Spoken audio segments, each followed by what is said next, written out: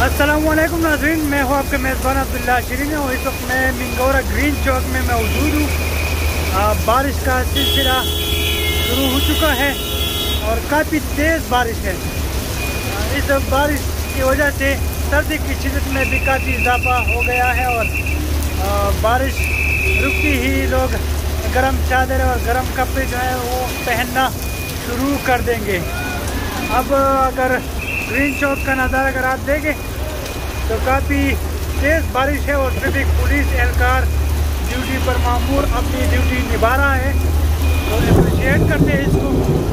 आ, कुछ देर पहले इसके पास जो बारिश से बचने के लिए जैकेट थी वो नहीं थी अब। वो उन्होंने पहन ली है और अपनी ड्यूटी वो कर रहे हैं।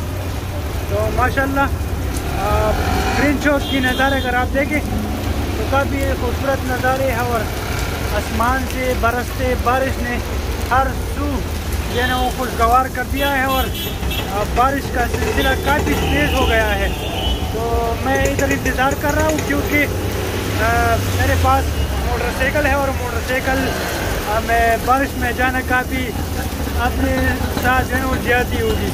तो इंतज़ार करता हूँ यहाँ पर बारिश रुकने तक। तो आप साथ रहिए और आपको मैंने ये नज़ारे दिखाने हैं बारिश के साथ रही है